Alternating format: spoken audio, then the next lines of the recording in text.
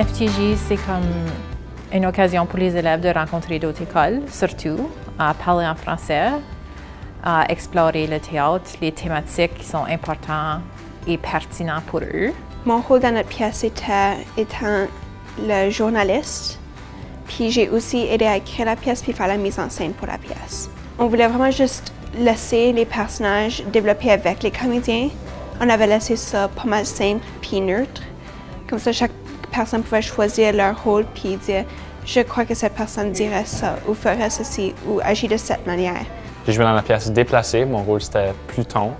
Euh, j'étais un plutonien euh, et j'étais pris dans l'aéroport.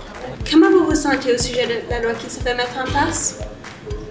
J'ai peur de, pouvoir retourner chez moi.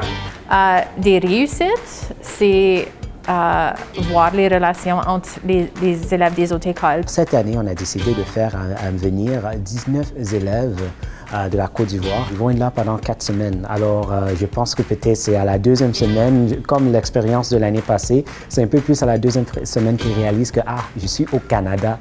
Je suis vraiment très content parce que c'est pas une occasion qui vient tous les jours. C'est pas toutes les écoles qui vont te faire voyager plusieurs milliers de kilomètres pour un festival.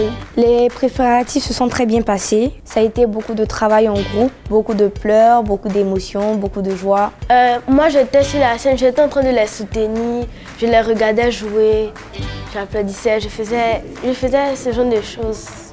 On a rencontré plusieurs amis qui, qui nous ont dit qu'on a bien joué, on a échangé au sujet du théâtre, ils ont vraiment aimé nos pièces. Nous aussi, on a vraiment aimé leurs pièces. Le théâtre peut changer ta vie. Um, non, c'est pas juste à ce moment. Ça continue, c'est une affaire de vie, je pense, pour plusieurs. 3, 2, 1, 3, 2, 1,